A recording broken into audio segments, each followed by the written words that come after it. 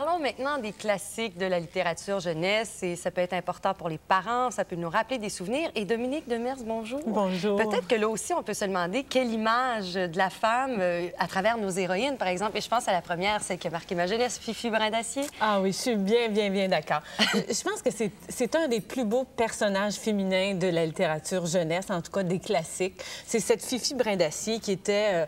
Euh, bon, ça date de 1945. Ça vient de quel pays? C'est suédois. C'est suédois. Oui, d'Astrid Lindgren. Et euh, Fifi, c'est une petite fille qui est autonome, qui est décidée et surtout qui fait exactement ce qu'elle veut dans la vie sans se soucier de personne. Et euh, je sais que physiquement, elle est décrite d'une façon tout à fait... C'est une marginale. Je pense qu'on a euh, quelque chose qui nous le montre. Exactement. On va écouter un petit extrait de quelqu'un qui nous lit un passage de Fifi Brindacier.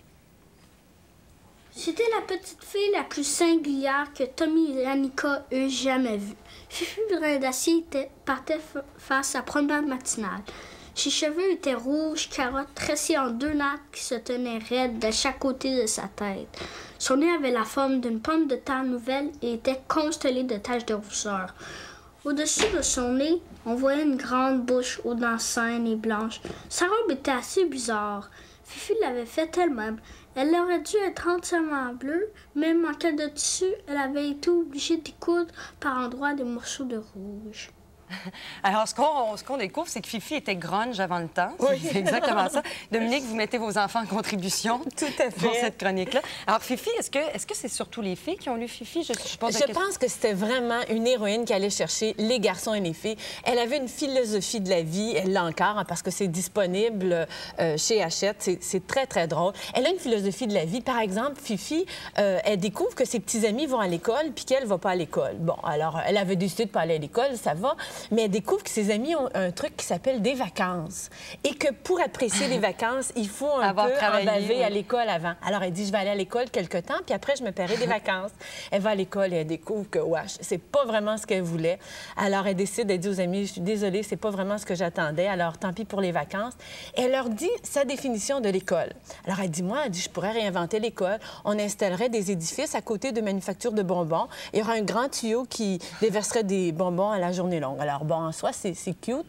Mais ce qui est drôle, c'est quand il y a une petite amie qui lui dit Et la maîtresse, qu'est-ce qu'elle ferait, la maîtresse Fifi dit Mais c'est facile. La maîtresse, elle aurait toujours du travail parce que c'est elle qui défrait le papier des papillotes. c'est cute. Est-ce que Fifi, bon, c'est vraiment passé dans les classiques, je pense qu'on peut le dire. Oui. Euh, mais qu'est-ce qu'on entend quand on parle d'un classique en littérature jeunesse? C'est que ça se passe de génération en génération? Tout à fait. Je pense que c'est la définition la plus simple. Ce sont des livres qui ont une certaine popularité à leur époque. Parfois, ils sont plus populaires après, finalement. C'est assez étonnant. Ah Et le ratio, c'est très petit. Hein. Il y en a peut-être un livre sur mille qui finit par devenir euh, un classique et encore. Vous nous avez apporté des exemples de classiques autres que Fifi. Euh, qu'est-ce que c'est? On parlait de... Il euh, y, en a plusieurs qui sont très beaux.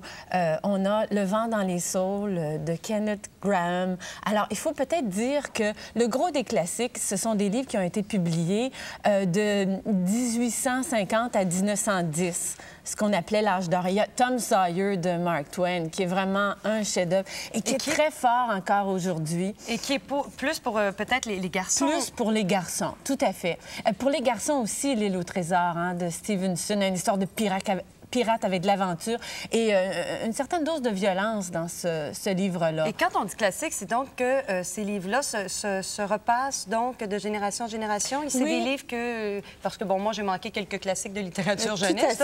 Ça s'arrête à peu près à Fifi, ben, dans en fait, On, en connaît beaucoup, mais on ne le sait pas parce qu'ils ont été repris à l'écran, au petit ou au grand écran. On pense... Et, et ils sont pas tous intéressants encore aujourd'hui. Parfois, l'histoire est intéressante encore pour les jeunes d'aujourd'hui. Les personnages, mais peuvent être assez indigeste à lire.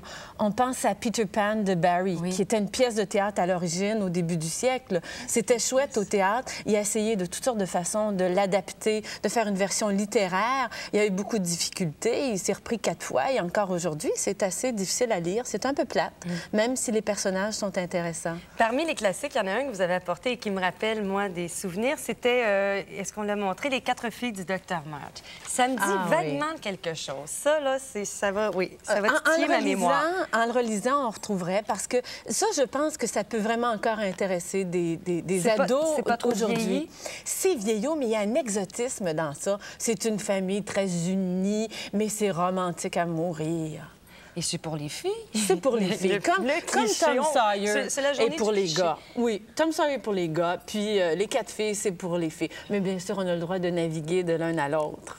Votre préféré, Dominique? Ah, moi, c'est Fifi Brindacier. Fifi ah. Je l'ai relu l'année dernière. Ça faisait longtemps, longtemps. Et c'était un coup de cœur. Elle est drôle, elle est marginale, elle est d'une audace. Euh, qui est presque inégalée. Et vos enfants aussi le lisent? Oui, Fifi Brindacier, c'est un des classiques qui se lit encore très, très bien aujourd'hui. C'est dans la famille des petites pestes. Euh, il y a plein de petites pestes dans la littérature jeunesse, puis au cinéma et partout aujourd'hui. Et Fifi, elle en est. C'est tout. Ça peut être intéressant pour les parents qui nous écoutent, ils ont des enfants, peut-être de revoir les classiques avec les enfants. bien sûr. un voyage dans le temps. Merci beaucoup, Dominique Demers. Merci.